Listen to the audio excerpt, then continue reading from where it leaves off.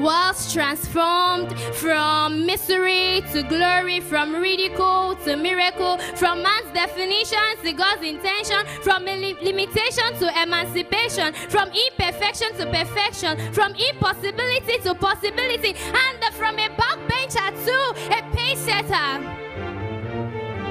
So, this is the certainty that we have a God of all possibility who has given us the creativity for global activity and the we therefore give credibility to the God of all possibility for blessing us with a father of fathers, a mentor of mentors, a teacher of teachers, the world world known holiness preacher, pastor, Dr. W.F. Kumuyi.